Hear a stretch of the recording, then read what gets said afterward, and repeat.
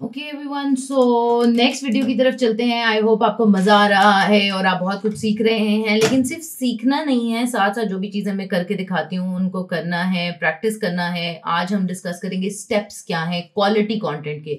बड़ी एक बहस है कि क्वालिटी कंटेंट होता क्या है और इसकी बहुत ज़्यादा ज़रूरत भी है। जब तक हम क्वालिटी कंटेंट नहीं बनाएँगे हमें हम नहीं जीतेंगे बिज़नेस नहीं जीतेगा सेल्स नहीं होगी कस्टमर नहीं जीतेगा कोई भी नहीं जीतेगा किसी का मसला हल नहीं होगा बिज़नेस का मसला है पैसा। कस्टमर का मसला है उसकी प्रॉब्लम जिसके लिए उसको कोई प्रोडक्ट या सर्विस चाहिए। हमने दोनों के दरमियान ब्रिज बनना है। और ये काम सिर्फ़ क्वालिटी कंटेंट कर सकता है। पहले वो कस्टमर को समझेगा बिज़नेस को समझेगा उसके गोल्स को समझेगा और फिर आगे बढ़ेगा। सो so, ये फिफ्टीन इंग्रेडिएंट्स या स्टेप्स हैं जो एक क्वालिटी कंटेंट के अंदर मौजूद होने चाहिए। स्टेप्स तो नहीं इंग्रेडिएंट्स हैं ठीक है? So number one thing always always listen to your audience हमेशा अपने कस्टमर की, अपनी पोटेंशियल बेस की, चाहे आप अपने बिज़नेस के लिए सर्च कर रहे हैं या क्लाइंट के बिज़नेस के लिए कुछ कुछ भी लिखने लगे हैं फ्लायर लिखने लगे हैं ब्रोशर लिखने लगे हैं वेबसाइट कंटेंट लिखने लगे हैं प्रोडक्ट डिस्क्रिप्शन लिखने हैं, सबसे पहले आपको पता होना चाहिए कि लोग कौन हैं जिन्होंने इसको देखना है। वो किस किस्म के कंटेंट के साथ इंटरेक्ट करते हैं? वो किस किस्म का कंटेंट पसंद करते हैं? वो किन वीडियोस को लाइक करते हैं? किन टेक्स्ट को किन कैप्शंस को किन इमेजेस को पसंद करते हैं? उनके अंदर क्या कॉमन थीम है? उनके अंदर क्या बातें ऐसी हैं जो चीज़ें उनको पसंद है? आ, वो किस चीज़ से जुड़ी हुई हैं? होप से जुड़ी हुई है यूनिटी से जुड़ी हुई है स्ट्रेंथ से जुड़ी हुई है पैसे से जुड़ी हुई हैं करेक्टर बिल्डिंग से किस चीज़ से जुड़ी हुई क्या थीम्स हैं उस कंटेंट के अंदर जो वो पसंद करें वो थीम आपने पकड़ना है। समझे ना बात को? कि बेसिक ख्याल क्या है? बेसिक डायरेक्शन क्या है? क्या चीज़ है जो उन लोगों के साथ रेजोनेट करी है जो उन लोगों को लगता है कि यार वाह ये चीज़। सो so, आपने ये देखना है कि आपकी ऑडियंस किस बारे में बात कर रही है और वो किस बारे में सोचते हैं उनके क्या बिहेवियर्स हैं उनके क्या इंटरेस्ट हैं इनके ऊपर हम फर्दर बात भी करेंगे। अपने सब्जेक्ट्स के ऊपर फोकस करें जो उन मौजूद पर बात करें जिसके बारे में आपकी ऑडियंस सोच रही है बात कर रही है सवाल कर रही है और जो उनके लव्स हैं इवन उनके लव्स अपने कंटेंट के अंदर डालें। So create original content original हमने पहले भी बात की कि ओरिजिनल कंटेंट वो है जो गूगल के ऊपर ऑथेंटिक नज़र आए जो रियल uh, वैल्यू देता हो। ओरिजिनल की डिस्कशन अगेन बहुत बात होती है ओरिजिनल रहना चाहिए। ओरिजिनल होता क्या है? Uh, वैसे तो देखा जाए तो नथिंग इज़ कोई ऐसा न्यू आइडिया दुनिया में नहीं है।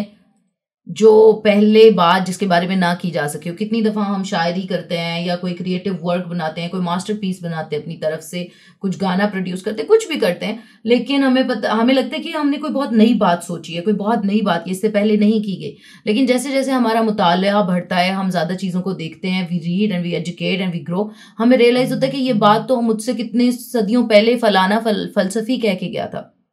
फलाना फिलोसफर ने फला बात बहुत पहले कर दी थी। Every idea is already out there ideas मौजूद हैं। उनके ऊपर आपने ओरिजिनल कैसे रहना है कि आपने अपना टेक ज़रूर देना है कि जो इस बारे में फॉर एग्ज़ाम्पल अगर हम बात करते हैं मेंटल हेल्थ की। मेंटल हेल्थ के ऊपर हमने देखना है कि पहले कितना गूगल पे जाना है सर्च करना है, देखना है कि पहले मेंटल हेल्थ के ऊपर क्या कंटेंट मौजूद है। और जो टॉप रिजल्ट्स आ रहे हैं तीन चार पाँच छः उनको रिव्यू कर लिया फॉर एग्जांपल हम खोल ही लेते हैं। गूगल पे गए मेंटल हेल्थ अवेयरनेस सर्च कर लेते हैं। इसके ऊपर क्या टॉप कंटेंट मौजूद है वो हमने देखना है ठीक है? क्या क्वेश्चंस लोगों ने पूछे हुए हैं ये गूगल हमें बता रहा है कि इस बारे में लोग क्या क्वेश्चंस पूछते हैं। तो ये हमारे ब्लॉग की या हमारे जो भी हम कंटेंट लिखने लगे उसकी हेडिंग्स भी हो सकती हैं। सही है so so, importance of mental health क्या है? वर्ल्ड डब्ल्यू एच ओ ने उसके बारे में क्या लिखा है? ये क्यों मैटर करती है? सो so ये डिफरेंट जितने भी टॉप चार, पाँच छः सात रिज़ल्ट रहे पाकिस्तान टुडे का भी आ रहा है, आपने इनको खोलना है और इनको पढ़ना है, सबको पढ़ना है। ये आपका रिसर्च में भी इन्वॉल्व है और यही अच्छा कॉन्टेंट लिखने का तरीका है। फिर आपने अपना टेक देना है। कि इन सब में ये बात मौजूद थी और देखने के इनमें क्या बात मौजूद नहीं थी कौन सा ऐसा पॉइंट था जो किसी ने नहीं किया कौन सा ऐसा टॉपिक था जो किसी ने एड्रेस नहीं किया। अभी मैं सारे पढ़ तो नहीं सकती लेकिन अगर हम पढ़ रहे होते तो हम उनको मे भी फिगर आउट करते कि मेंटल हेल्थ के ऊपर सबने बात तो की हुई है। लेकिन मेंटल हेल्थ टीन एज बच्चों की पेरेंट उसमें क्या रोल अदा करते हैं या वो कैसे बेहतर कर सकते हैं इसके ऊपर बहुत कम कॉन्टेंट मौजूद है और कोई इसके बारे में बात नहीं करा। तो आपने अपना ओरिजिनल टेक वहाँ पर ऐड करना है कि ये एक इंपॉर्टेंट थिंग है जो। सो so, आपने इस तरह रिसर्च करनी आइडेंटिफाई करना है कि इस, इस नीच में इस इंडस्ट्री में क्या बात पहले की जा चुकी है। टॉप जो ब्लॉग्स रैंक कर रहे हैं वो क्या बात कर रहे हैं और मैं उसमें अपना हिस्सा कैसे डाल सकता हूँ? ये सोचना बंद कर दें दो रूल है ज़िंदगी में। दो कामयाबी के असूल ज़िंदगी में याद रखें। You get what you pay for जितनी आप मेहनत करते हैं, वही आपका रिज़ल्ट निकलता है। जितना गुड़ डालो, उतना ही मीठा।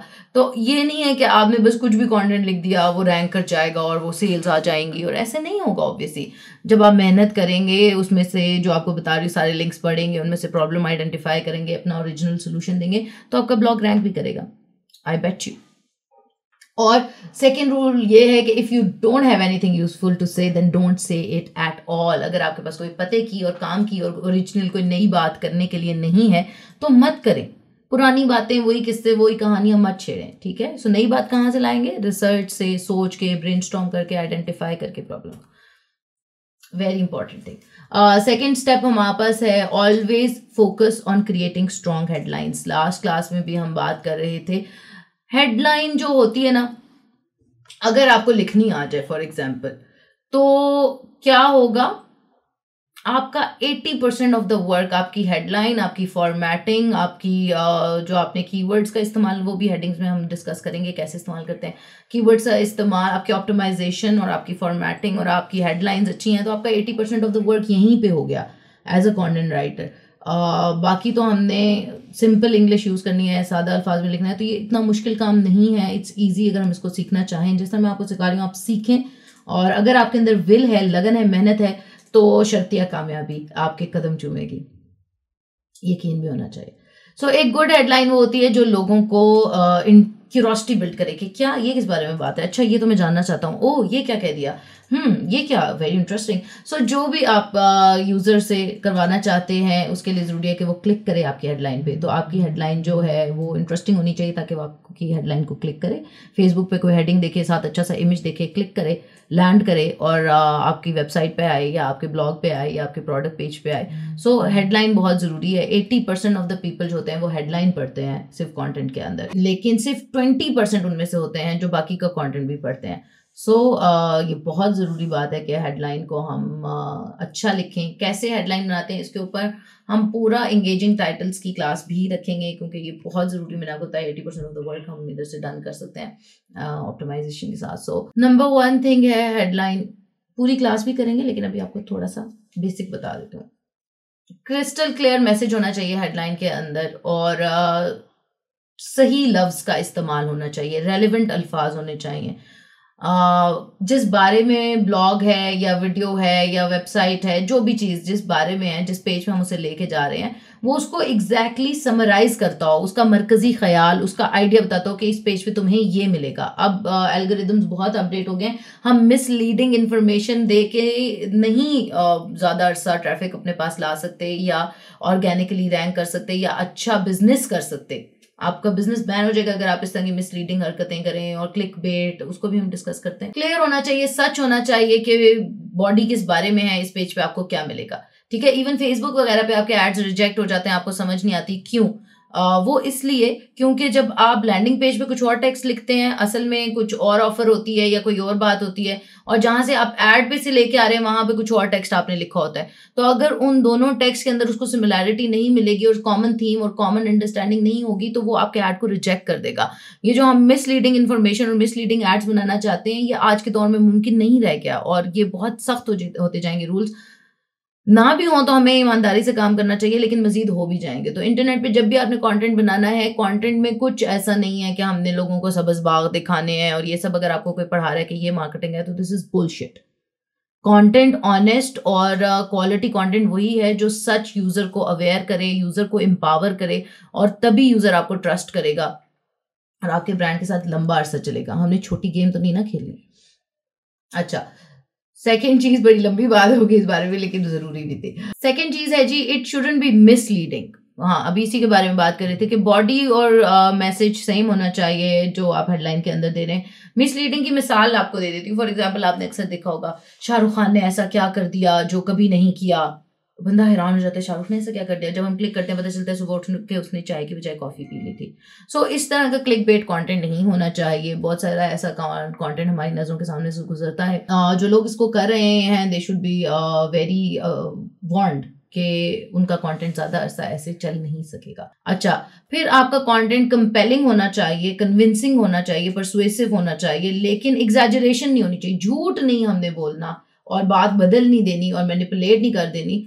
बात जो है वही बतानी है, लेकिन उसको बताने का जो बेहतरीन तरीका है, जो बेस्ट पॉसिबल वो हम डिस्कस करेंगे कि कैसे बेनिफिट्स को हाईलाइट करके बेस्ट कंटेंट बनाते हैं। सो so, ये होना चाहिए। उसके बाद हमारी हेडलाइन एस फ्रेंडली होनी चाहिए। ये भी हम डिस्कस करेंगे कैसे हमने कीवर्ड निकालना है कीवर्ड के जो क्यू ए कीवर्ड्स होते हैं या एल एस आई कीवर्ड्स होते हैं उनको कैसे हमने कॉन्टेंट में अपनी हेडिंग्स में इस्तेमाल करना है ठीक है? इसके ऊपर भी बात करेंगे। F A Qs for example आपकी वेबसाइट के अंदर जो है आप वो Q A keywords Google keyword tool से लेके उनके एफ़ ए क्यूज डाल सकते हो एज हेडिंग्स अपने कंटेंट के अंदर। सो so, ऐसे फ्रेंडली होगा लोग जब उस कंटेंट से रेलिवेंट वो क्वेश्चंस क्योंकि ऑलरेडी सर्च हो रहे हैं गूगल आपको वही क्यू कीवर्ड्स दे रहा है जो ऑलरेडी सर्च हो रहा है।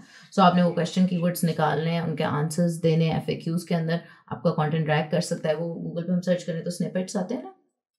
इस तरह जैसे अभी हमने देखे थे। फॉर एग्ज़ाम्पल हम लिखते हैं best ways to lose belly fat ये देखो ये स्निपेट इसको कहते हैं स्निपेट जो आपके कंटेंट अगर किसी ने अच्छा कंटेंट लिखा हुआ उसने इस तरह पॉइंट्स दिए हुए हैं या क्वेश्चंस के आंसर्स दिए हुए हैं ये क्वेश्चन आंसर्स दिए हुए हैं तो आप इस तरह क्वेश्चन आंसर्स और स्निपेट्स की फॉर्म में डाटा डालो ताकि गूगल को अगर आपको अपडेटेड और रेलिवेंट डाटा डालोगे तो वो आपको भी रैंक कर सकता है ठीक है?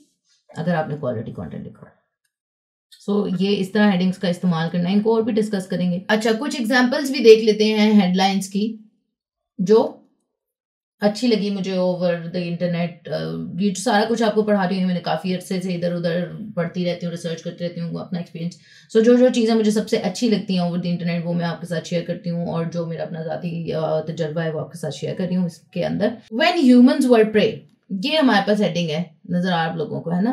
अब ये एक डिफरेंट हेडिंग क्यों है? क्योंकि यूजुअली हम ह्यूमन को एज शिकारी देखते हैं, इंसान तो शिकारी था, लेकिन वो कब शिकार हुआ करता था, जब शेर शिकारी होता था तो ये एक डिफरेंट बात है। इस तरह की हेडिंग जो है लोगों का इंटरेस्ट पैदा करेगी। फिर ये बड़ी अच्छी हेडिंग लगी मुझे five grammatical errors that make you look dumb अब कोई भी डम नहीं लगना चाहता, कोई भी स्टूपिड नहीं लगना चाहता तो इसलिए ये अच्छी हेडिंग है कि आप जब ये लिखेंगे, जो भी होगा उसको लाजमी पड़ेगा फिर अगर फ़ूड इंडस्ट्री की बात करें तो how to make cauliflower taste as good as French fries roasted curried cauliflower so ये भी साउंड मज़े का इसलिए कर रहा है पॉजिटिव इसलिए कर रहा है क्योंकि कोई भी नहीं गोभी खाना चाहता लेकिन अगर उसका टेस्ट फ्रेंच फ्राइज जैसा प्रॉमिस कर रहे हैं तो people would like to know कि इसमें ऐसा क्या है। एक सिंपल uh, टाइटल uh, जो रीडर को बहुत कम लफ्ज़ों में एक्साइट करता है एज ऑफ़ एक्सेलेंस अचानक से हमारे दिमाग में ना एक दफ़ा ब्रेक लग जाता है। एज ऑफ़ एक्सीलेंस क्या उसके अंदर बात होगी? सही है? सो uh, so, ये हमने देखना है कि हमारी रीडर का इंटरेस्ट क्या है और वो हमने किस तरह अपनी हेडिंग में इंक्लूड करना है। दान। काश डॉट कॉम। ज़ीरो तीन सौ चार। Triple one five seven eight six.